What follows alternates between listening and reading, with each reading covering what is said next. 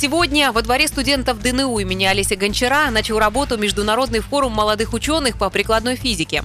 Программы междисциплинарного мероприятия, пленарные секционные заседания, семинары, круглые столы, воркшопы. Участниками форума стали 174 ученых из 10 стран мира.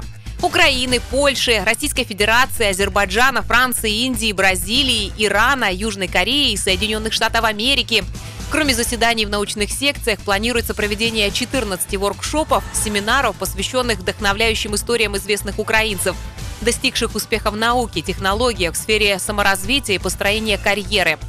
Социальная программа мероприятия включает посещение Национального центра аэрокосмического образования молодежи Украины имени Макарова, обзорную экскурсию по Днепропетровску и гала-ужин на лайнере «Академик Михаил Янгель».